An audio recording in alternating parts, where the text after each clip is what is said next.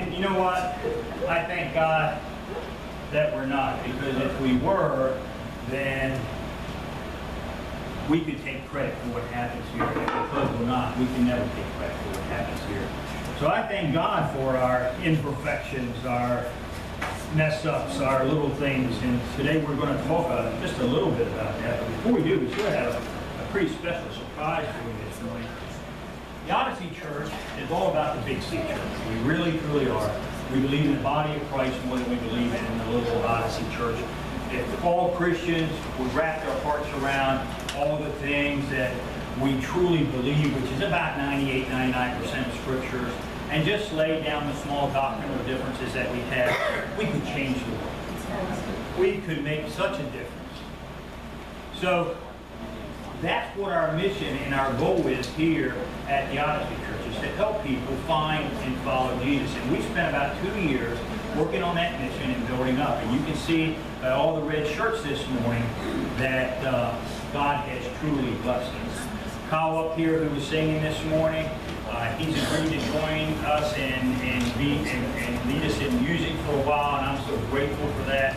And uh, we're going to have two music teams now so that nobody gets overburdened, and that's the great part about having a church. And we're one of the rare churches. You know, everybody says there's an 80-20 rule, 80% of the people volunteer, or 80% of the people do the work, and 20 or 20% of the people do the work, and 80% stay home. We got almost 100% volunteer rate in this church. And almost everybody in this church does something. But over the course of the last couple of years, we have not brought members into the Little C Church. We have brought members into the Big C Church, but we haven't brought members into the Little C Church. So today, for the very first time, we're going to initiate some members into the Odyssey Church. So for those of you who would like to join the Odyssey Church, I want to ask you to join up here with me.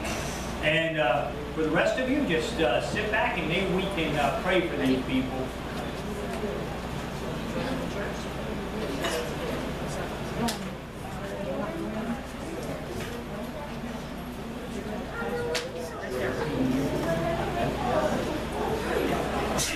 All right, and uh, um, I'm going to have to have you spread out because we've got a, a few people here this morning that are joining.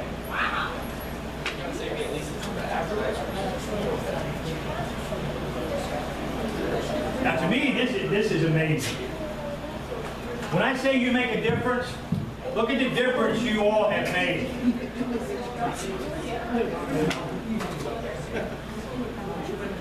Sure. And I, and I just want to ask you a couple questions. And, uh, and uh, the first one is, have all of, all of you accepted Jesus Christ as your Savior? Yes. All right. All of you want to join the Odyssey Church? Yes. Will you, to the best of your human ability, guided by the Holy Spirit, do what God has called you to do to help His kingdom? Yes. Well, you know what? To all of you sitting out here, I want to introduce you, and I can't count that high because I even with my shoes.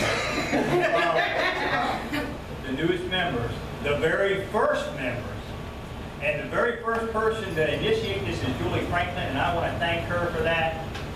These are our newest, our first membership. They are on the ground floor of something great here. Woo! God bless you all. Yes. My daughter's going to get a picture. You have to use the Zoom lens. I told you it wasn't perfect.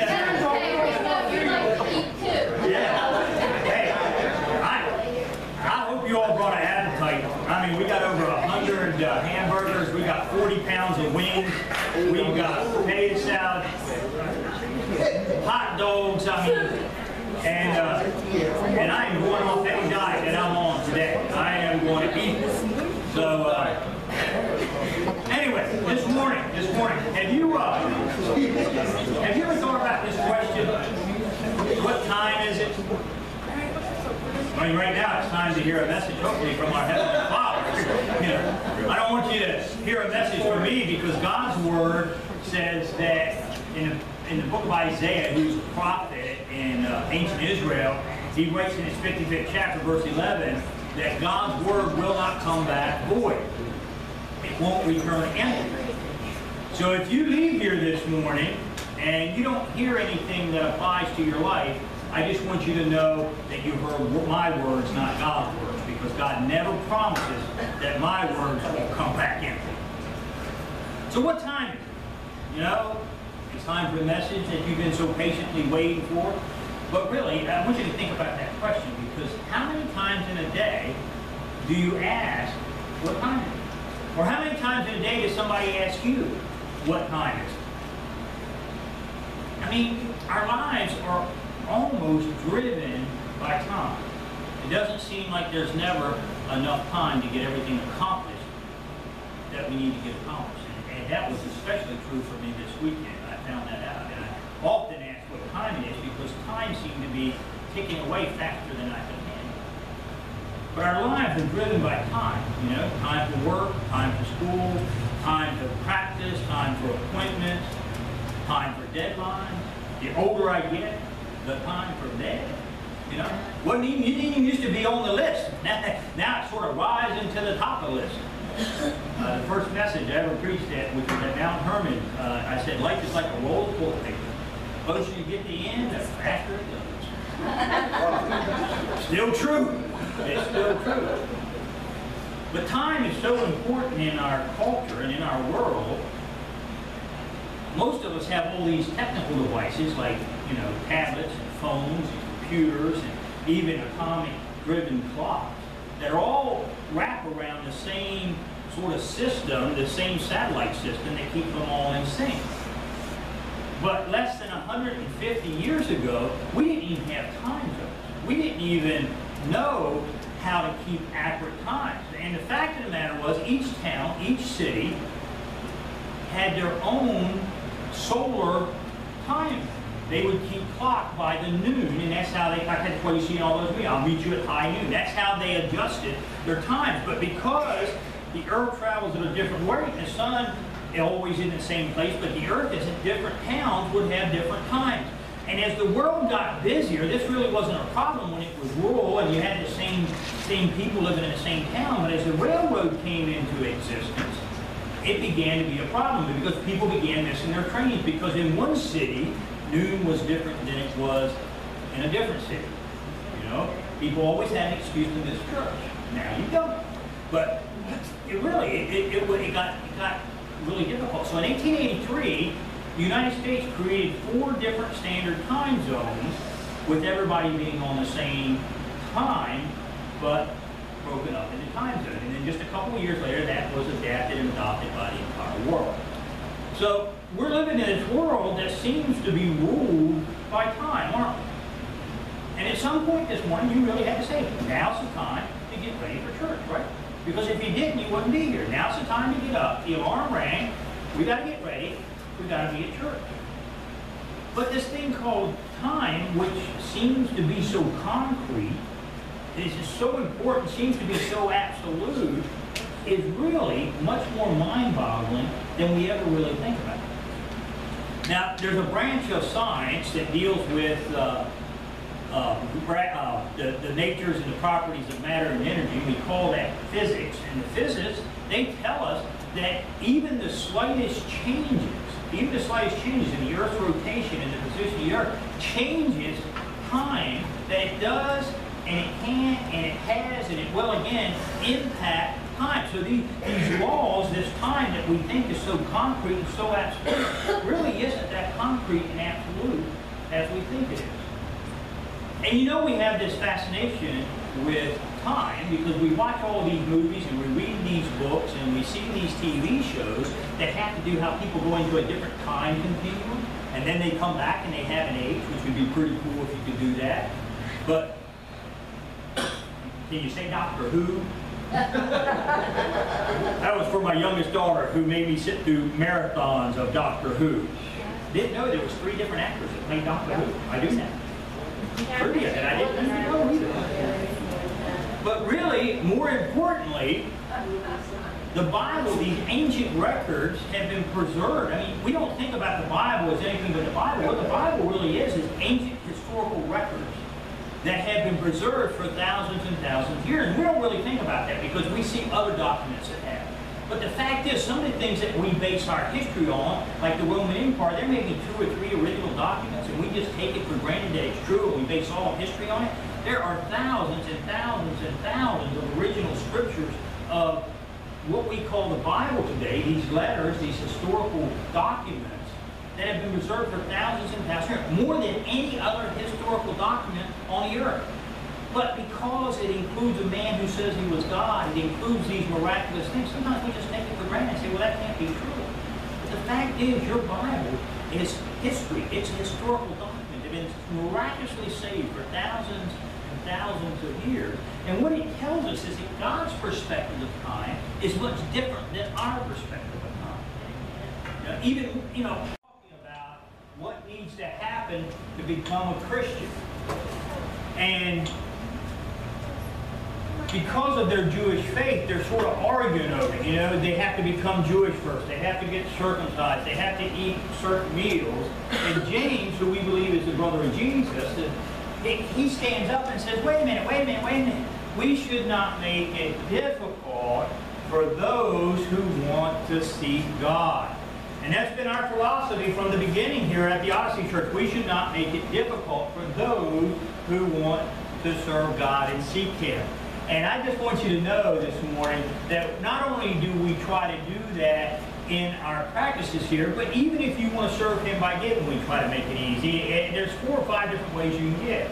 You can give online at our website, www.odysseychurch.com. We now have our very own app. You can download the app and give on the app. You can simply text sponsor TOC, which means the Odyssey Church, sponsor TOC, one word, 7797. You can mail it in or we'll receive an offering in just a few minutes. You can give it here. Or if you forget, there's even a box out in the uh, front that you can put it in. But we want you to know that this money goes and that it, it makes a difference. You make a difference. Those of you that donate to your church with your time, you make a difference. Those who donate with their resources, you make a difference. Those that volunteer, you make a difference. Those who give, you make a difference. We have been so blessed. You have made a difference in the past. You have made life different in people that are right here in this church this morning. You have made a difference in people in the past in the community. We have bought washers for people. We have bought stoves for people. We have given away hundreds and hundreds and hundreds of clothes to people. We paid utility bills. We have been able to minister to people. We help people get their homes repaired. There has been so much that has been done simply because we paid medical bills. I mean, I could go on and on. Simply because of the people who come here and the people who support us that don't even come here. And I want you to know you have made a difference, not just in this church, but in the difference in the people around this area, in our community, in our families. But also, we reach out and we branch out farther. There's a, a big church word called ecumenical. It just means the big body of Christ. And we're part of an organization called the Christian Community of Churches. And uh, your outreach, because of our involvement in that, reaches out into uh, Ocean View, up near Rehoboth, almost to Gumboro, out into Millsboro, uh, down into Frankford. And, and all this area, the southern Sussex County area, is ministered to, and even down into Worcester County because of you. But not only do you make a difference there, in the past you made a difference in the world. We've been able to sponsor uh, some ministries to Costa Rica. We've been able to sponsor three different trips and help sponsor anyway, three different trips to Haiti that are, are still in, in such poverty. They're still overcoming a, a, a large earthquake that happened 10 years ago. And, and we can't do that without you. So I want you to make know that you make a difference. But not only do you make a difference in the past, you make a difference today. There's people that stepped up to the plate and helped and volunteered and gave money to, so we could have this event today. We had love events like this. And, and people donated all kinds of things. They donated chicken wings, man. That's you can donate them every week if you want. They donated hamburgers. They donated their time to cook them. They donated resources because events like this get expensive to put on. It's amazing. But you don't make just a difference in the past, you make a difference today. But let me tell you something. You make a difference in the future. You made a difference in the future of our family, but you made a difference for all eternity. There are people sitting in this room right now that weren't going to church this time two years ago, this time last year, last time two months ago, that our lives have been transformed. Their eternal destinations have been transformed, all because you care, you give, and you make a difference. And I want to thank you from the bottom of my heart because we couldn't do it without you. This morning, as we receive our morning's offerings, I'm going to pray, and then as we set up, we'll watch another video. Heavenly Father, we thank you. We thank you for this group of people who are here today. We thank you for those that give to the church, those that come and those that don't come. And Lord, we just ask that you protect us, that you watch over us, that you watch over them. And Lord, Father, we pray that we're good uh, stewards of the resources that are given to us.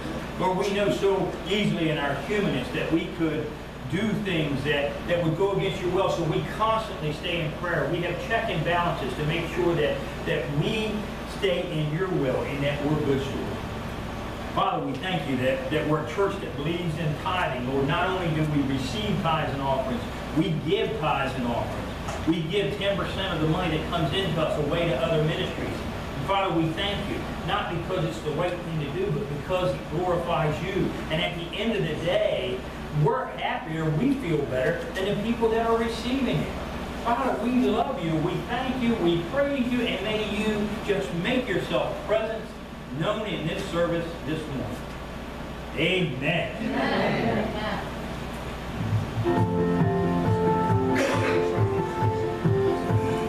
I love my church. Really love my church. I think there's so many opportunities to grow as a Christian by being part of a church. I don't know how I would grow otherwise. When I see what God's done in my life and in the life of others, it makes me excited to see what He will do in the future. I see this as a way to take the love that God has shown me and show it to my church, to my community, and that is so rewarding.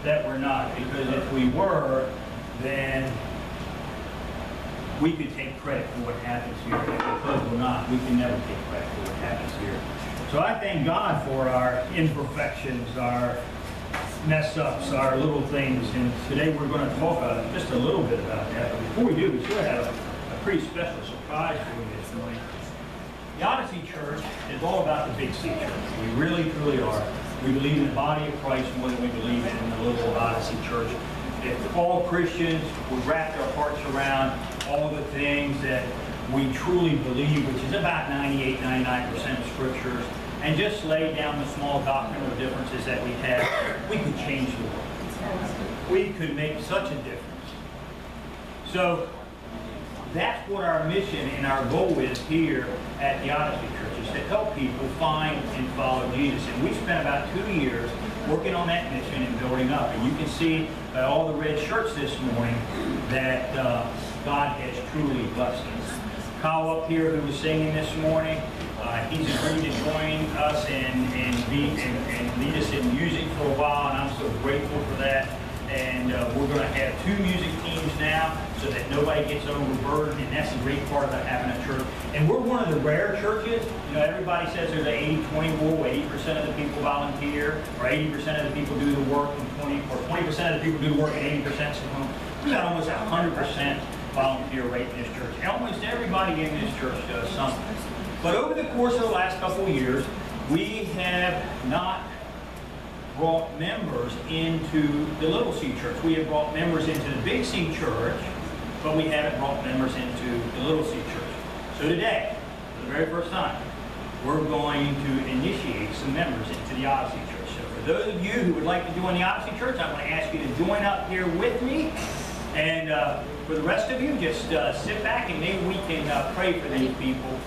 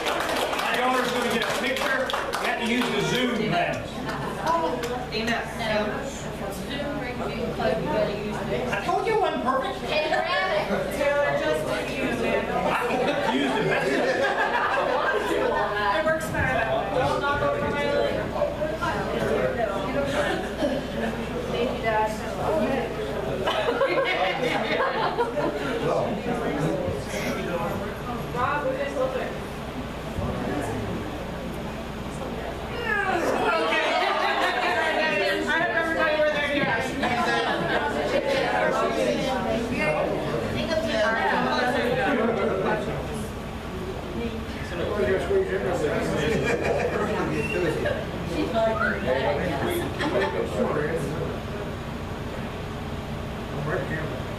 on, Taylor.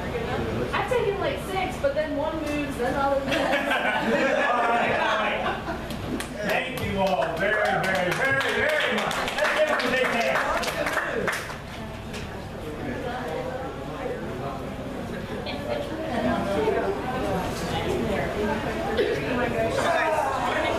Wow.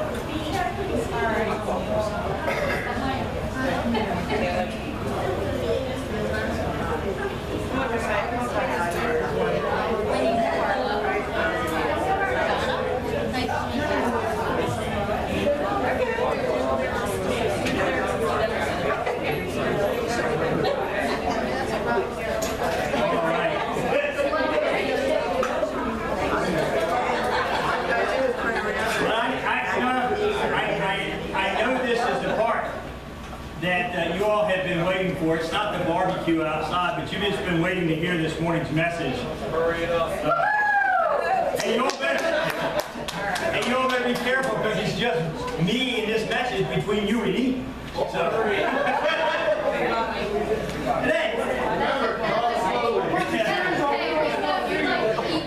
yeah.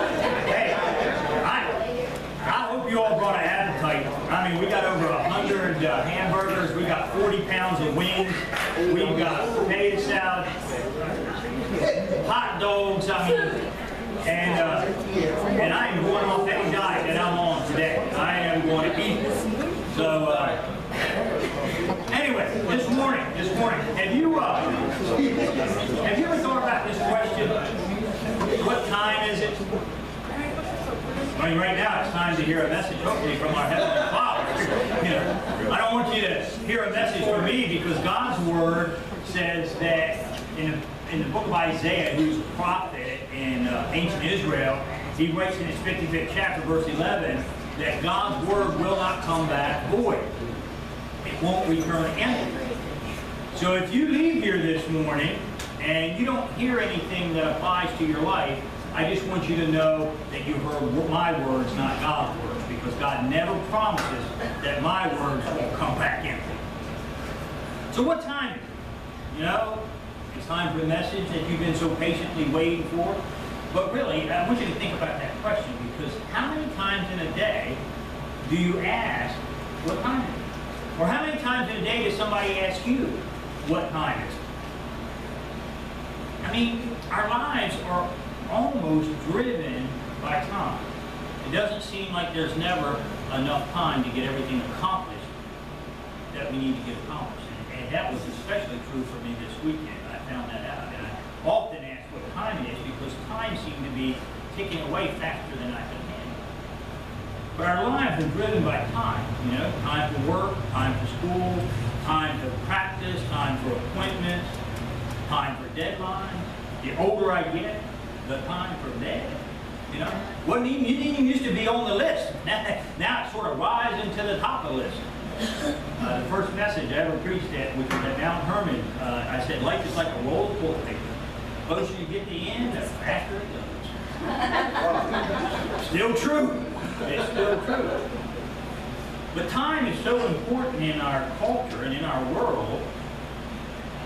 Most of us have all these technical devices like, you know, tablets and phones and computers and even atomic-driven clocks that are all wrap around the same sort of system, the same satellite system that keeps them all in sync.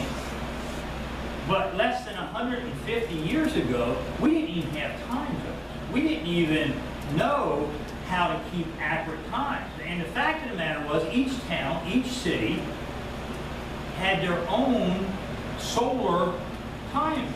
They would keep clock by the noon, and that's how they, that's why you see all those, I'll meet you at high noon. That's how they adjusted their times. But because the earth travels at a different rate, the sun always in the same place, but the earth is in different towns would have different times. And as the world got busier, this really wasn't a problem when it was rural and you had the same, same people living in the same town, but as the railroad came into existence, it began to be a problem because people began missing their trains because in one city, noon was different than it was in a different city. You know, people always had an excuse to miss church. Now you don't. But it really, it, it, it, got, it got really difficult. So in 1883, the United States created four different standard time zones with everybody being on the same time, but broken up into time zones. And then just a couple of years later, that was adapted and adopted by the entire world. So we're living in this world that seems to be ruled by time, aren't we? And at some point this morning, you really had to say, now's the time to get ready for church, right? Because if you didn't, you wouldn't be here. Now's the time to get up. The alarm rang. We got to get ready.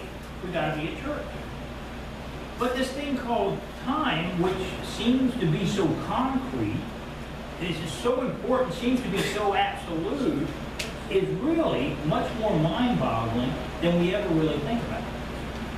Now, there's a branch of science that deals with uh, uh, uh, the, the natures and the properties of matter and energy. We call that physics. And the physics, they tell us that even the slightest changes even the slightest changes in the Earth's rotation and the position of the Earth changes time that it does and it can and it has and it will again impact time. So these, these laws, this time that we think is so concrete and so absolute, really isn't that concrete and absolute as we think it is. And you know we have this fascination with time because we watch all these movies and we read these books and we see these TV shows that have to do how people go into a different time continuum and then they come back and they have an age, which would be pretty cool if you could do that. But can you say Doctor Who? That was for my youngest daughter who made me sit through marathons of Doctor Who. Didn't know there was three different actors that played Doctor Who. I do now. Trivia I didn't know either. But really, more importantly, the Bible, these ancient records have been preserved. I mean, we don't think about the Bible as anything but the Bible. What the Bible really is is ancient historical records that have been preserved for thousands and thousands of years. And we don't really think about that because we see other documents that have. But the fact is, some of the things that we base our history on, like the Roman Empire, there may be two or three original documents, and we just take it for granted that it's true, and we base all history on it. There are thousands and thousands and thousands of original scriptures of what we call the Bible today, these letters, these historical documents, that have been preserved for thousands and thousands of years, more than any other historical document on the earth. But because it includes a man who says he was God, it includes these miraculous things, sometimes we just take it for granted and say, well, that can't be true. But the fact is, your Bible is history. It's a historical document. It's been miraculously saved for thousands and thousands of years. And what it tells us is that God's perspective of time is much different than our perspective of time. Know, even, you know, we don't even know what the word means, but it means origin. You know, there's no errors in, in the scriptures. Everything's named, everything's done for a purpose. So in the origin, in Genesis, it tells us that God existed even before the beginning of the world. He created the heavens and earth. So time is, we know it didn't even exist in the beginning because we measure time by how the earth revolves around the sun. And God created the earth and the sun and he was there before it was ever there. So his time and his his his time and, and his concept of time is much different. I, I- think when we get to heaven, we're not going to be looking at our watch saying, you know what, it's time for that worship service. Or now's the time. God doesn't wear a wristwatch, and neither will we. Even in the last book, so from beginning to end, in what we call the Revelation, God says He is the Alpha, the Omega, the beginning and the end. Now, one of Jesus' closest friends when he walked in here was a fisherman. At least he was a fisherman until Jesus asked him to follow him. He gave up everything he had, gave his worldly possessions, gave up his, his job, gave up everything in order to follow Jesus. Now, Jesus may not call you to do that. He calls some people to do that. But he doesn't call everybody. But Jesus did it. Or Jesus called Peter and he gave up everything. He started from. He writes a letter in what we call the second Peter chapter 5, I'm sorry, chapter 3, verse 8. And in that letter he sort of gives us God's concept of time. He says, to the Lord, a day is like a thousand years, and a thousand years is like a day. So God makes it very clear in his word that he's not controlled by our time system. Our time is measured by the half, how the earth circles the sun, and God existed before the sun and earth existed. And yet, and yet, this is amazing. His God, His love for us, His love for each one of us, still works within our lives in the context of time. I think God allowed us to create time for our benefit, and then He uses it for our benefit, even though He doesn't either. And in God's Word, there's always an urgency in His message. Now, sometimes we don't feel it. And we say, well, God, a, a day is like a thousand years, and a thousand years is like a day. Why is this urgency? You know, there's an urgency to God's message of salvation to each one of us, and it's rooted in time. Now, the Apostle Paul. Now, if you don't know who Paul is, Paul's an amazing character. He's one of my favorite people in the Bible because Paul was, uh, he didn't think he was. He was serving God to the best of his ability, but he was really serving God completely wrong. And we turn out, he even admits it, that he was this great sinner. In fact, he says, I was the chief of sinners. Paul was a man who was serving in the Jewish faith, and he was what they called a Pharisee. So Pharisees were experts on the law and they were the enforcers of the law. They were the ones that made sure not only were they going to follow the law, but everybody else better follow the law. And to some degree, that's why we started the Odyssey Church, because sometimes churches have people that want to make everybody follow the law. You gotta do this, you gotta do that, you can't do this, and you can't do that. And one day, one they Paul, this man who's this amazing sinner, who's, who, who's actually going out, tracking down, he's bringing people to prison. We know that he was involved in the persecution, the arrest, and even the murder of people who follow Jesus. And yet he experiences Jesus in a way, he has this living experience with this living God who he saw was dead, and everything about Paul changes. And he said, you know what? There's a reason for the law, but that law kills. But the spirit behind that reason is what gives life. And he starts telling about not the rules of God, but the love of God. And Paul, this guy who was out actually trying to seek and kill and arrest and persecute people who were following Jesus becomes one of his greatest followers and writes about half of our New Testament. Now, there's a couple things I want you to know. First of all, Paul began to realize that Jesus was not just a good teacher, that Jesus was not just this great prophet, but Jesus was exactly who he said he was, and Jesus said he was God in the flesh. That he was God who came to dwell among his people so they could know him, so they could know his, so they could know his Father, that he was God in body. And Paul began to believe this so much that he was willing to sacrifice and did end up sacrificing his life for Jesus Christ. So, if you're here today, I want you to know it doesn't matter what you've done. Some people say, well, I'm too bad for God to love me. If you've been here and you've been tracking down, beating up, and persecuting Christians and killing them, God still loves you and says, quit doing it and come to me and I'll make you my child. I'll adopt you into my kingdom. Now that is great news. That we should get excited about.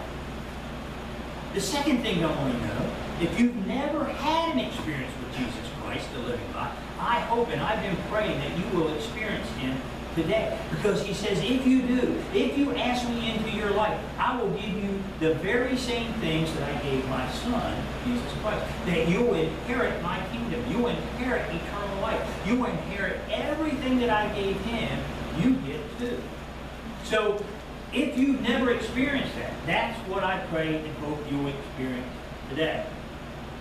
Now, the Apostle Paul, he, he wrote many letters. The first letter we're going to be looking at comes, or the first verses we're going to be looking at, comes from a letter he wrote to the Christians in Corinth. It's called uh, 2 Corinthians, and Corinth was a city that was about 48 miles outside of Athens in Greece. And we have these words that have been saved for two millennium almost for our benefit. And Paul tells us this, as God's co-workers, we urge you, you know, this isn't a, this isn't, hey, we ask you, hope you do this. We urge you not to receive God's grace in vain. For he says, in the time of my favor, I heard you, and in the day of salvation, I helped you. I tell you, now is the time. There's an urgency. Now is the time of God's favor. Now is the day of salvation. And I want you to know, as God's co-worker here on earth, that we here at the Odyssey Church, we urge you not to receive God's grace in vain. In other words, don't let God's word become fruitless in your life. Don't let God's word just become something empty. You hear it and you don't do anything about it.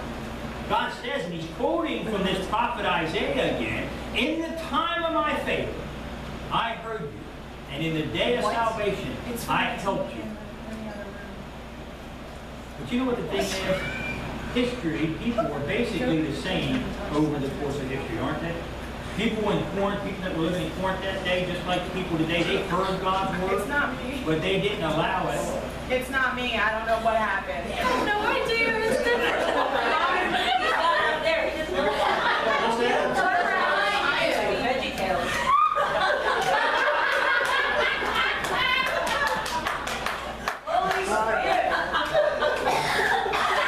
It's blue to me like a children.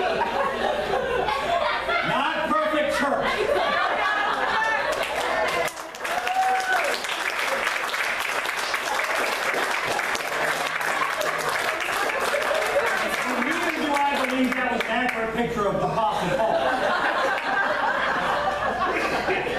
No more cell phones. And I and I'm sitting here and I'm like, Everybody's cracking up.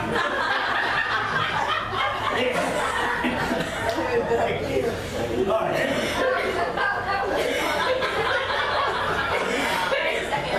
Let me see if I can bring this back in.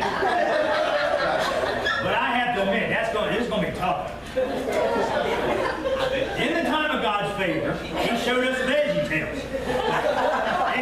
In the time of God's favor, He says, I heard you, and in the day of my salvation, I help you. But like today, just like today, in Corinth, over 2,000 years, actually, if we read the Old Testament, over six or 7,000 years, or if you believe millions of years, either way, the human heart is basically the same. You know, God says that we're stiff-necked, we're hard-hearted. And it's true. Because people would read Paul's letters, and people, just like today, would say, you know, that's great. They heard his God's word, but they did not let it affect their lives. Maybe there were people like today. They simply didn't believe what Paul wrote. They're like, that can't be true. A man raised from the grave. And Paul says, I saw it. You're making up. You were dreaming. Or maybe they were like a lot of people today and they were confused because they heard so many false teachings. One of my greatest friends, a man that I love dearly, and I know he loved God, but he continually watched the History Channel where they gave all these depictions of how Jesus could have actually survived the cross and then pushed that. Folks, it's an impossibility. First of all, Roman soldiers were trained in knowing death. They knew when somebody was dead. They had seen it over and over again. The next thing is they wrapped him in 80 pounds of cloth and oil. Put on 80 pounds of cloth all over your body and see if that don't kill you. If that don't kill you, they put him in a tomb with a stone that was so big it took two or three soldiers to roll it, and then they sealed the tomb. It's impossibility that they could be alive. But he heard these false teachings, and he become confused. We hear a lot of false teachings today. That's why it's so important to read your Bible. I never want to give you false teachings, but I tell people, keep me accountable. Read your Bibles. If you hear something that I'm saying and you don't agree with it, come to me. I may not agree with you, and you may not agree with me, but at least we can have that discussion. And people have done that that that before, and I, I've changed my, my opinion. So, you know, I want to be held accountable, but you have to read your Bible yourself to do that. Or, you know what I think? I, I think a lot of them they just didn't want to sacrifice. They wouldn't, didn't want to give up the things they were doing. They knew they were doing some things that were wrong. They enjoyed the sin they were in, and they didn't want to stop. So they just said, well, I'll wait, you know, I'll delay it. I'll come to God sometimes. I know He's exists. I know He's my Savior. I got a person I love very much, and I mean, I love Him with all my heart. But He'll tell you, I know Jesus Christ died for my sins, but I do not want to quit what I'm doing. I'm just going to live the way I want to live. Now, folks, let me tell you something. Our God never told us we had to clean ourselves up to come to Him. He says, come to me and I'll get you cleaned up. We get it all messed up for years. We've heard in church, come to this, give up your sins and come to this altar. No, come to this altar and Jesus will work from the inside out. Come to Him. Just come to Him. God loves you with everlasting love no matter what you've done, no matter what you're doing. Come to Him. But they like to sin there. And I used to tell them, I mean, if you're sinning and you ain't enjoying it, you're doing it wrong.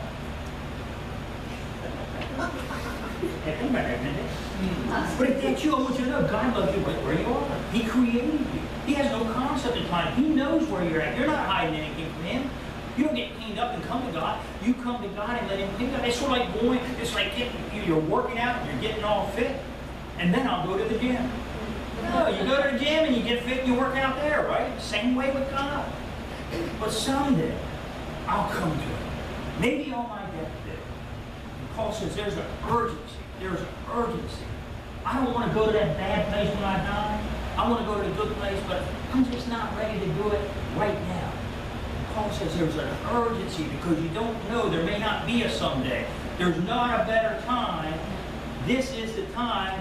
And then adds, I tell you, now is the time of God's favor. Now is the day of salvation. There's no better time than today. Now's the time. Don't miss your opportunity for all of eternity with your Creator. And it's not just about dying and going to heaven.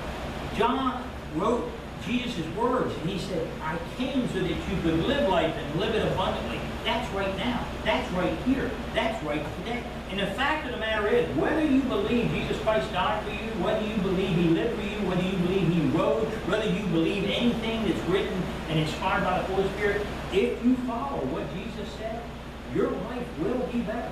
You will have better health. You will have better finances. You will have better relationships. And we've seen it time and time and time again where people would start abiding by his words, and all of a sudden, as their life got better, they say, you know what? Jesus Christ truly is who he said he was. I mean, you got to keep in mind that the Apostle Peter didn't make the great confession, you are the Lord, for about three years into the ministry of Jesus. He'd been following, he'd seen the miracles, but it was three years later that he said, you are the living God. Have you ever known that there was a time to do something, but maybe it was a time and you were forced to do it? Now's the time and you better do it right now because you, you don't, there's going to be immediate consequences. Now, when I was a kid, and my mama said, now's the time, you better believe if she had that certain tone in her voice, now's the time. Not the one. You don't believe her, she's sitting right there, you ask her. Boss at work says now's the time to get off your blessed assurance and get to work. Or you're going to be looking for some work. You know now's the time for you to get to work and quit horsing around, right? Maybe you can relate to this one. I, I don't know. Your pregnant men, or your pregnant wife is standing there in a, in a, in a puddle of water, and she goes, "Now's the time," and you're like, "Now's the time for what? To get you potty trained?" It's amazing. It's amazing. Even a Christian what will come out of her mouth when she's in labor, and now's the time to take her to the hospital. They seem to lose their entire sense of humor. I don't understand. And, and then there's the times that now's the time moments when you know now's the time and you do something about it. When I was probably nine or ten years old, I wanted a stereo and I kept saving my money and I was working and I was saving it. And one day I had enough money to buy the stereo and now was the time. The store had the stereo, I had the money, and it was time for them to take my money and me to take the stereo. Now was the time and I took advantage of it. But you know, there's a lot of decisions that are a lot more important than buying a stereo. And there was a time when Janet and I started dating, and we decided now was the time for us to become exclusive. Now was the time for us to date no one else. This was us. There was no one else. And during the course of that, as it progressed, I knew now was the time to get married. It was time to get married. But there was some risk involved. There were some things that were involved, you know. The time was right for me, but was the time right for her? I mean, she could have said no. She could have said, it's not time for me. But it was worth the risk. So I said, now is the time, and asked her to marry me, and for over two decades now, we've been married. So now was the time. I took action. It took place. One time it was, and I thank God for her because she has put up with every harebrained idea I've ever had. I, I was, I was, uh, I tell her, I said, you know, when I met you, you were a very successful businesswoman. You had everything, and over the last 20 years, I've been able to take all that away. She- she's now a pastor's wife working to support both of us, but at one time, I said, you know, I, I was very, you know, fairly successful in my own in business. I rose at an early age to the top of the corporate ladder in my particular industry, and I couldn't go any farther. I said, now's the time to go in business for myself. Janet went along with that, but I'm not sure she thought now was the time. She's pregnant. We just bought a new house. We had big debt. We had, I had a good salary. I had very much security. I had everything. And she's at home. She's pregnant. She's not working. She's by herself. And you're like, you're to quit your job? You're to go farther in debt? Are you sure now's the time? I said, yeah, now's the time. And she said, go ahead. And we did it. Sometimes there's now's the time, and you just reach out, regardless of the risk, regardless of what the consequences could be, and you reach out, now's the time, and you do it. Really, really, most of us, it now's the time. We have these now the time, and you better do it decisions, we have now's the time, and we do it in that moment, but most of us know now's the time, but what we do? Wait. We said, okay, now's the time, but it's risky, I'm not sure it's worth it. You know, these now the time moments where you don't do what you're supposed to do when you know you do. Usually ends up in a bad way, doesn't it? I mean, I was in a relationship one time with a friend, and I knew now was the time to end the relationship. I knew that in my heart, but I, you know, it was hard, and I knew that me and other friends and other people would get hurt, but I knew now was the time. I delayed the decision. You know what happened? More people got hurt. It was harder on everybody, and it was just a whole lot easier than if I had just done it when I knew to do it. When Janet and I were in business, we knew it was time to close our business. We knew that two years before, and at that time, at that time, we were fairly successful by the world, you know, vision. And We had buyers that would come in. I had a guy offer to buy us out, and let me go work for him. I had job offers.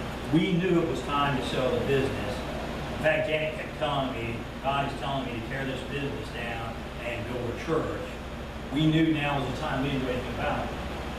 We didn't have a crystal ball. We couldn't foretell that in 2008, the whole world financial system, everything would collapse. Because what we didn't do when we knew we should have done it affected me, affected my family, affected my loved ones, and we lost really all our material wealth that we had built up over the years. Because now was the time and we didn't do anything about it, because we weren't urgent about it, we were hurt, other people were hurt, and in the end, it, things were just a whole lot worse. Now, I don't say that for any other reason. And to quote Denzel Washington from the movie Flight, if we had done that, I wouldn't be here talking some of the uh, some of the, the worldly things that are just going to rust and go away anyway. And he replaced them with earth, uh, heavenly treasures that won't rust, the moths can't destroy, and a I love what I'm doing now. But we would have been in a better financial position if we had done it two years before when we knew now was the time. You have the, now your forced time to do it. You have now's the time and you do it, and then you have the now's the time, but I'm just going to. And really, the last one is the one Paul's addressing in his letter to the Corinth- Corinthians. He says, I urge you not to receive God's grace in vain. Where he says, in the time of favor I heard you, and in the day of salvation I helped you. I tell you, now is the time of God's favor. Now is the day of salvation. But we look at the scripture and you say, well, what does that mean? I mean, how can something that took place 2,000 years ago, something that happened two millennia ago, have some kind of impact and still be relevant for today? How can now for the believers 2,000 years ago be now for us living in today's world? And we're going to answer this by looking at how God is working in time throughout history. And he's telling us about his love, about his offer of salvation. He's telling us from this verse in 2 Corinthians that we are now living in a time of favor. Just as they were living in a time of favor, we are now living in a time of favor. But one day, one day, that time of favor ends. There is nobody from 2,000 years walking around today going, I still got time. I'm still in God's favor. There's a day that comes when God's favor ends. Now is the day of salvation. Now is the time of God's favor.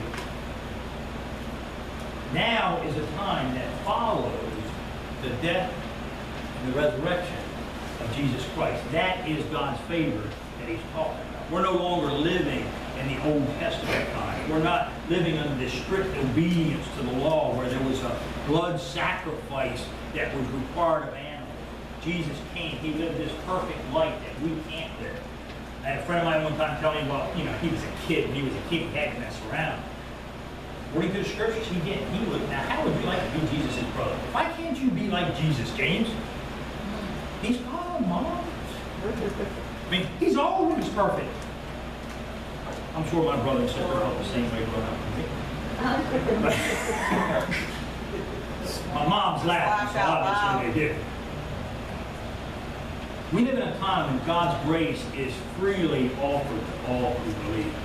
God sent Jesus into the world where he died on this Roman cross in real time, in a real historical event. And we forget sometimes this isn't just recorded in our Bibles. This is recorded of secular historians at the time. So we can say, well, this is just the Bible.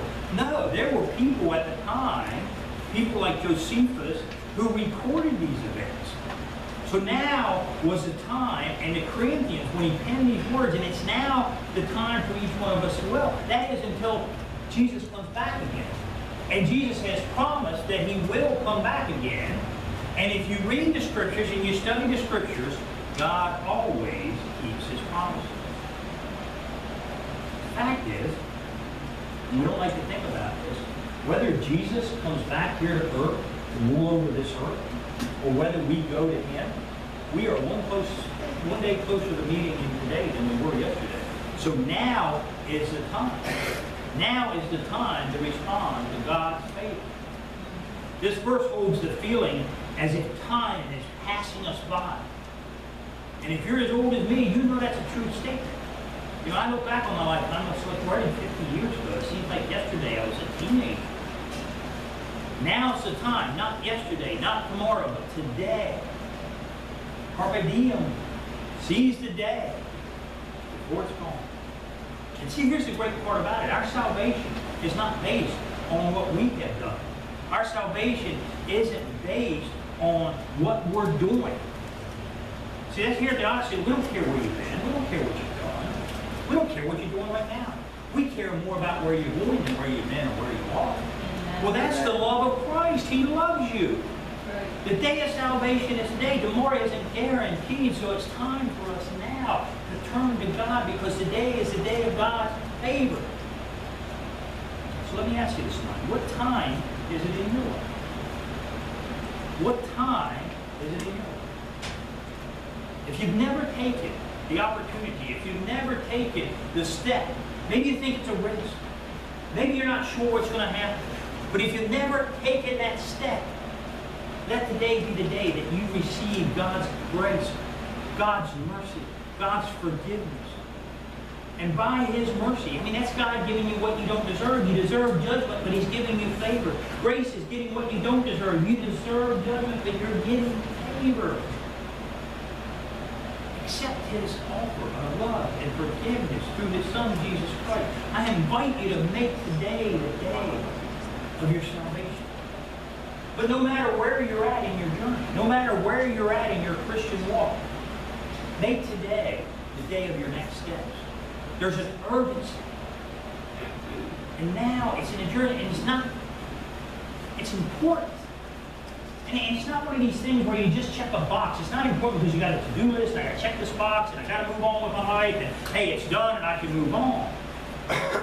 You remember all those things happened to me when I delayed what I knew was right to do?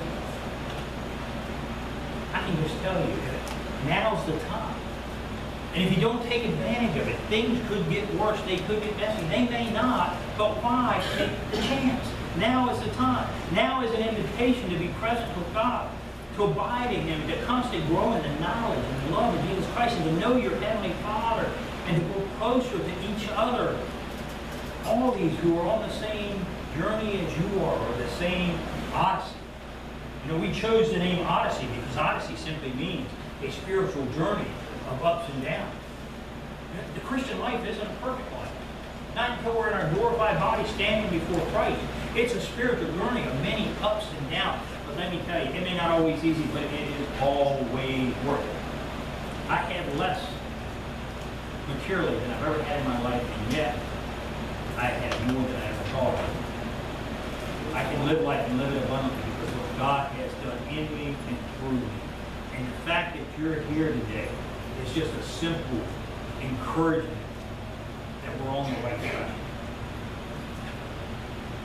Now's the time to follow God's leading and experience the love that He has for you. Experience Him in a deeper way. And as an individual, as each one of us,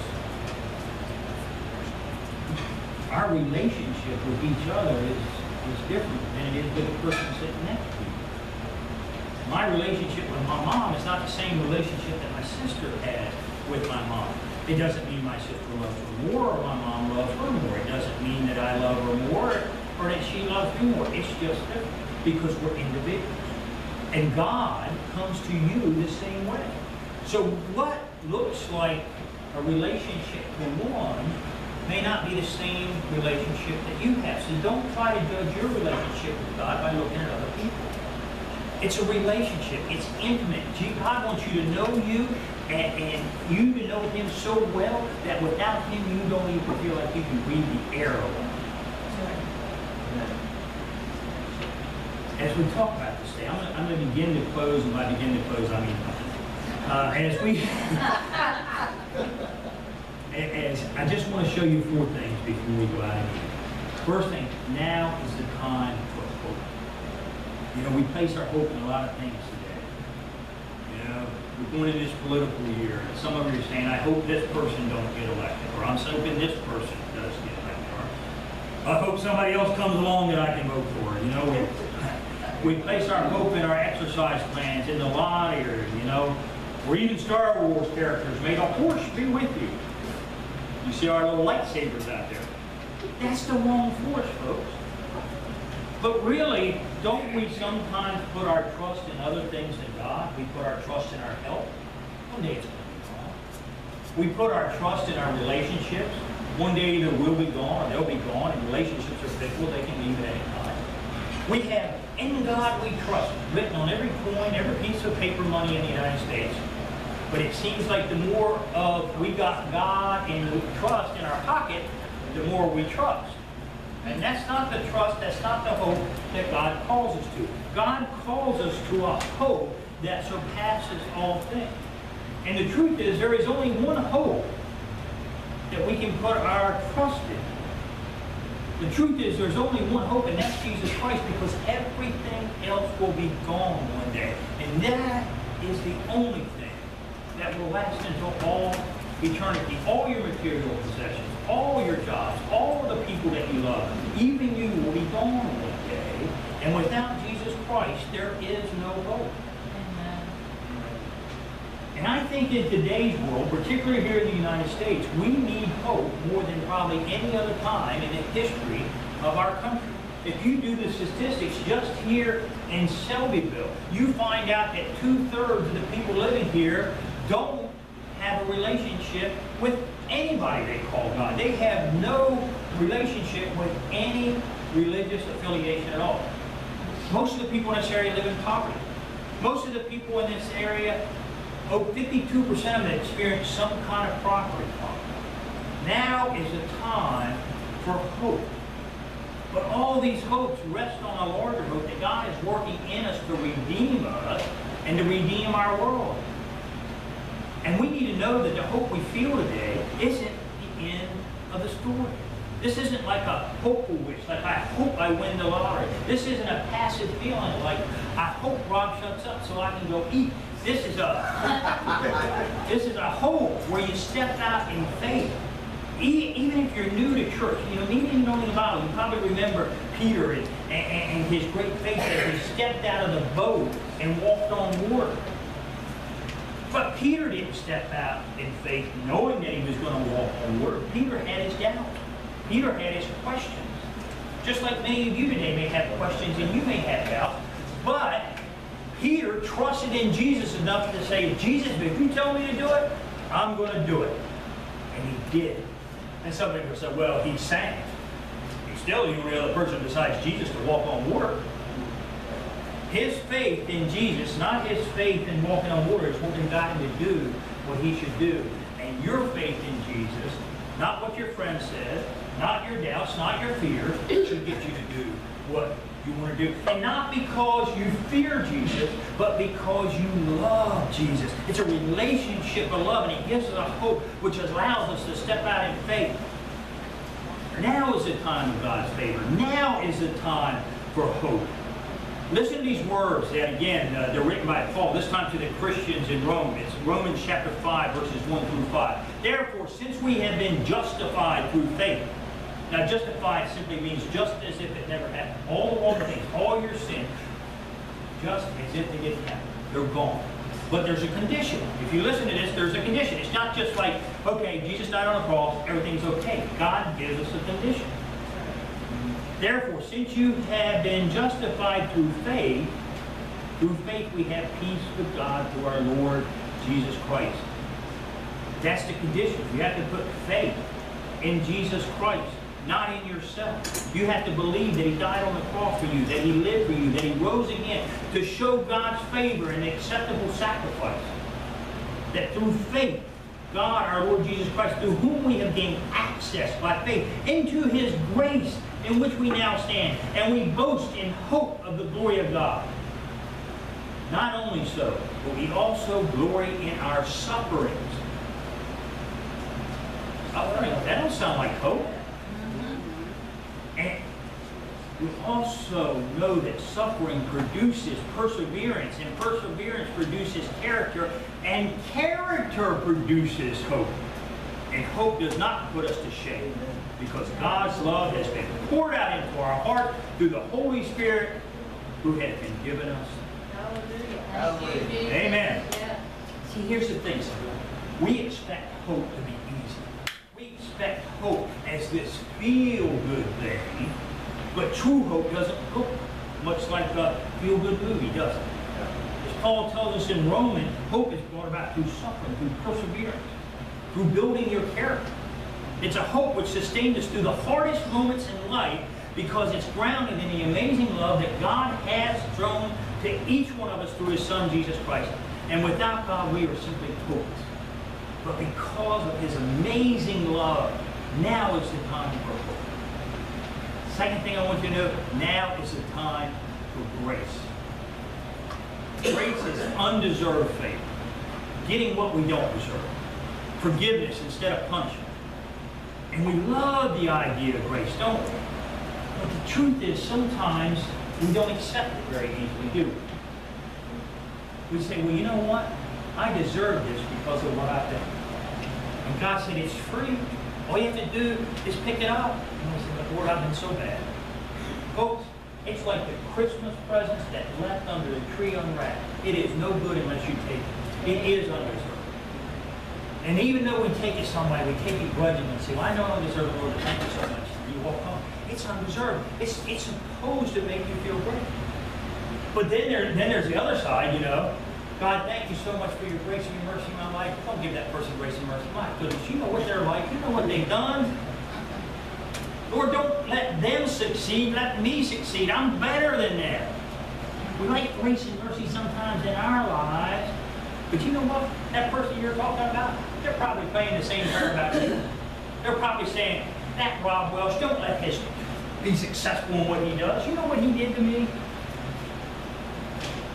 It's hard when you start thinking about grace. Because accepting grace, that means you have to admit something. You have to admit that you don't deserve God's favor, and that's tough. But when we're really, truly honest with it, we know we have to admit it to ourselves, despite any goodness, despite anything that we've done good, despite of any of our accomplishments, we have to know that we are unworthy of God's forgiveness, let alone His love. That is the good news of the gospel. That's the good news. Jesus lived a perfect life, so you don't have to. Jesus died on a cross and accepted our punishment, so we don't have to accept it. And as proof this sacrifice being perfect and acceptable to God, the Holy Spirit raised him from the dead, and God tells us that same Holy Spirit lives in each one of us when we accept Christ as our Savior and by faith put our trust in Him, and yet we have this dormant power laying inside, us. I love my church. I love the Holy Spirit, and we are praying the Holy Spirit, the same Spirit that raised God from the dead, raises this church up, and we do amazing things in your lives and in our community lives and our friends' lives, not for our glory, but for the glory of Almighty God. Amen. During his time on earth, Jesus constantly reminded his disciples his love was based on grace, not on merit, not on works, not on the good things they did. They couldn't earn it, you can't it. His love is grace on grace, and that grace is available to every and every one of us, even you and even me.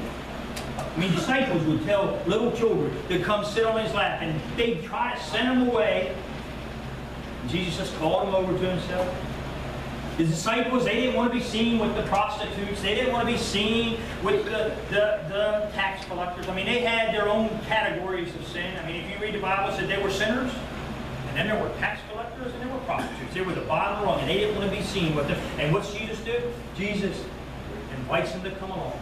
Jesus sits down and has dinner with them. Jesus said, I think I'll even come to your house. How many of us, how many of us, knowing church people were watching us, will walk into a house of prostitution to minister? How many of us go to the bars to minister to people?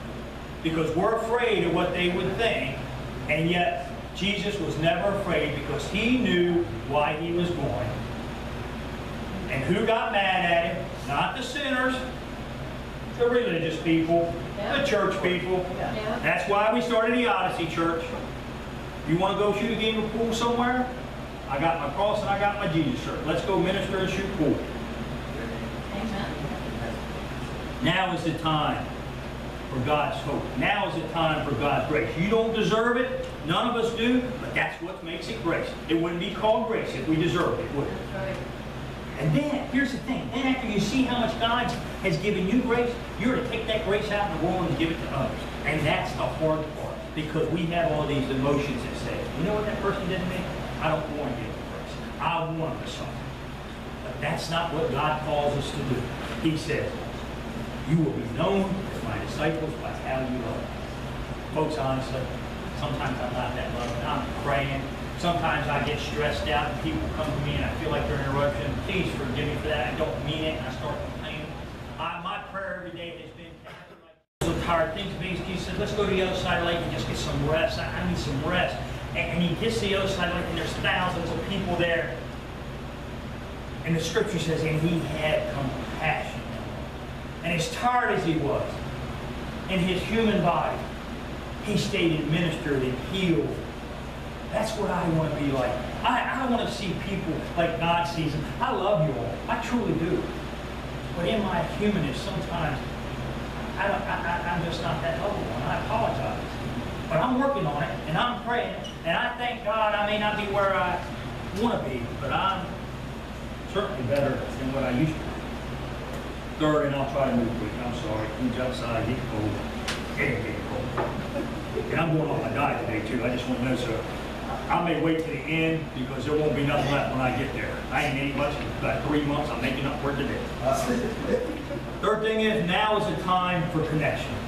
You know, that same technology would keep us all at the same time, connects us in so many ways. Yet the research says that very same technology, this same nonstop connection, is making us socially isolated. You know, if you watch a group of, forgive me, people under 35 at a restaurant, they're very rarely talking to each other, they're talking, they're looking at their phones. I remember visiting my oldest daughter in New York City, and I couldn't believe, I, and I looked it up, said, well, maybe there's 2 million. There's 8.4 plus million people living in New York City. And I remember walking down the street so crowded that you were like this and you couldn't help but bump into people and rub shoulders with you. And I remember feeling this sense of loneliness. Because nobody said hi. Nobody looked you in the eyes. Nobody talked to you. They all had earphones in or some kind of device and they're walking around like this, never looking up, never looking at anybody. 8.4 million people to connect to, and they're not talking to each other. The same technology that's supposed to connect us has made us isolated. And there's a lot of people in the world today that actually blame their isolation and loneliness on the technology. But the fact of the matter is that's not the real problem. We can't do away with our technology, and should we not do away with our technology? It can be used good for e- or evil. It's what you use it with, use it for. But that feeling of isolation has happened since Adam and Eve sinned in the garden and then became removed, became isolated from God's presence. That feeling has been around for a long, long time. So the answer isn't to throw away all the technology. We need to embrace true connection. Now's the time for the body of Christ, the big C and the little c, to be just that, a body. Later in Paul's letter to Romans chapter 12 verses 4 through 5 says, For just as each of us has one body with many members, and these members do not all have the same function, so in Christ we have many, form one body, and each member belongs to the other. We all belong to each other. We all are connected for a purpose. We're not meant to live in isolation from God or from each other. We need each other. We need love and we need support and we need encouragement. We need it. We need to be challenged so we have a sense of purpose. And I believe the local body of Christ, this Odyssey Church, is a great place. It has amazing opportunity for us to connect. And folks, you're just getting in on the ground floor. We're starting to grow. We've got some things that are working in here that we're hoping to announce over the next couple months that are going to be amazing, and they're no less than miraculous. Not, but we're to be connected, not just on Sundays, but on every day. In our small group, we, we, were, we were listening, we, we read this book by Francis Chan. In one of his churches, he, noticed that this gang member had started coming to church. He gave away his gang life and he starts coming to church. But after a couple Sundays, he notices this gang member, this former gang member, is not there anymore. So he he goes to the guy's house and he, he runs into him. I don't know how he did it, but he ran into him. And he asked him, he goes, well, why didn't he come to church? He goes, you know, when I was a member of the gang, we were there for each other. We were there every single day. We had everybody, had my back and I had everybody's back. We were like a true family. And because I came to church expecting. And what I found is we're a family for one hour a week. Because that's not what I was expecting. Folks, that's not what God meant by the church, the body of Christ. And I'll tell you, you talk to these people with the red shirts on, you'll find that we talk throughout the week. We are family. We meet during the week. Somebody needs something. There's somebody there. There's people that come to this church. I couldn't get to the hospital to visit one of our members yesterday, and we had other members go up and visit. We are a family here. We are the body of Christ. We aren't the Odyssey Church. We are a little C church, but we're much more about the big C church. Not on Sunday, but on every day. Hebrews chapter 10, verse 24 and 25, the author says, Let us now consider how we may spur one another towards love and good deeds, not giving up meeting together as some are in the habit of doing. Why church is important. He says, encourage one another. And all the more as you see the day approaching. That means the day of Christ coming to us, or us going to Christ. None of us needs just another thing on our calendars to do, but we all need encouragement and a relationship. I invite you to consider that now is in the time of your life to invest in true connection with the people of God. Now is the time for hope. Now is the time for grace. Now is the time for connection. And finally, now is the time for compassion. The psalmist Dave writes, in uh, Psalm 145, verse 8, the Lord is gracious and compassionate, slow to anger, and rich in love. Despite this undeniable urgency in God's word for us to respond, He's not in a hurry. But that doesn't mean we shouldn't be in a hurry.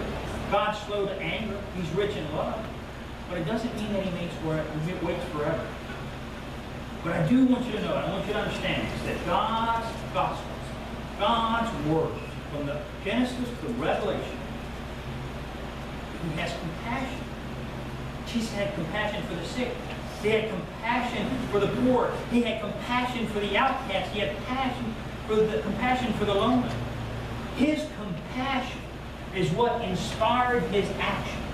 And when you realize the hope and the grace of God and the connection that we can have with Him, your thoughts, the way you think changes. We call that repentance. It changes. And now your thoughts will be lived out through your actions. And you can have compassion like Jesus had compassion. So how do we respond when we experience God's compassion? My prayer is that this gift of God's compassion towards us inspires our own compassion. Leads us into service. Not service out of obligation, not service out of fear, but service out of love. It's not something we're obligated to do, it's something we want to do. God said, I'm not obligated to send my son to that cross and die for your sins. I'm not obligated to offer you life and let you live it more abundantly. I'm not obligated to give you eternal life. But oh my, I love you so much. I may not be obligated to, but I want to. I want to give you everything that I gave my son. I want to give you love, and I want to give you mercy, and I want to give you grace, and I want to give you life and let you live it more abundantly.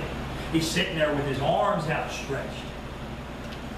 Not because of obligation, but because of love. And we should do the same thing. And from that place, we should start showing compassion to the other. Again, Paul writes to the, the people in Colossae, uh, Colossians chapter 3, verse 12 through 14. Therefore, as God's chosen people, holy and dearly loved, clothe yourselves with compassion, kindness, humility, gentleness, and patience. Bear with each other and forgive one another if any of you has a grievance against someone. Forgive as the Lord forgave you.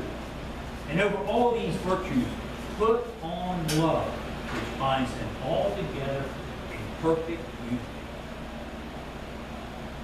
Compassion brings it around full circle, doesn't it? It helps us to show forgiveness. It helps us to show grace to ourselves and to others. Sometimes the worst person we need to forgive is our own self. We carry this guilt around with you. That's what I don't understand about other religions. What do they do with their guilt? Jesus said, bring it here at my feet. Lay your guilt down and walk away and take that burden off of you. I'll carry it for you. It solidifies the connection between believers, allowing us to bind together in love and unity. John, 40, Jesus' closest friends on earth, John 13, 35 says, it's time, it, it's time that God's people be known by our love. Folks, I'm telling you, now's the time for the church to be known for its love and for its compassion.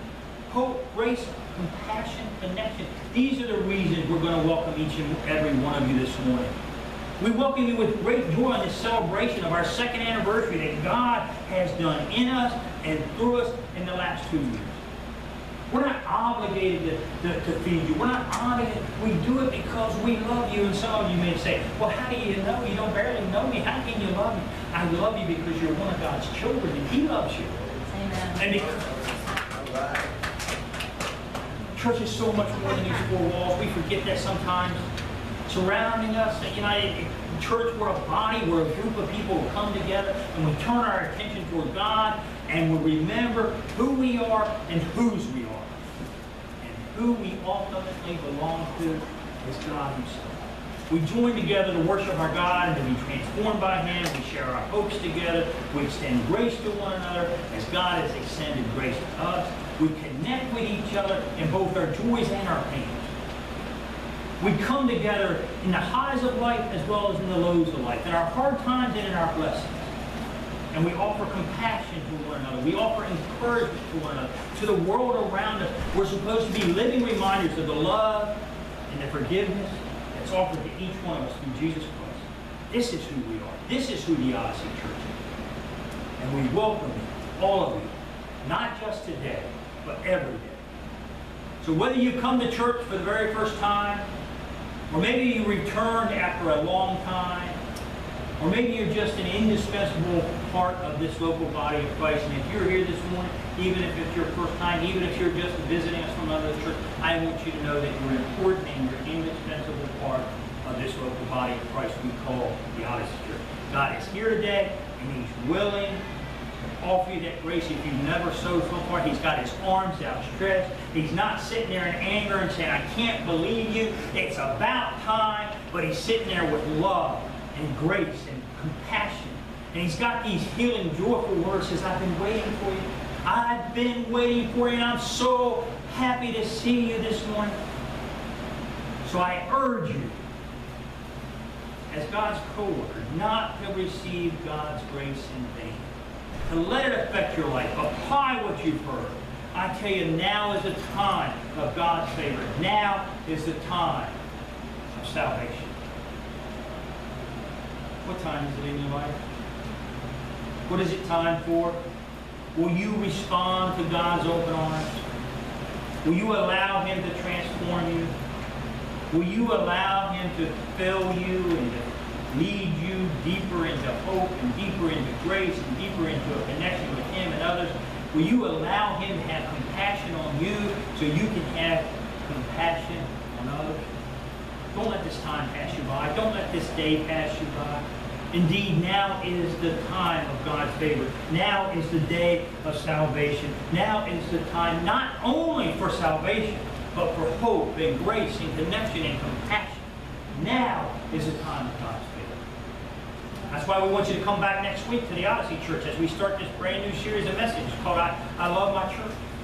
We're looking to build a stronger church, a stronger big C church and a stronger little C church. We're looking to build a stronger church, a stronger body, body of Christ through community, through service, through giving. And that doesn't mean money.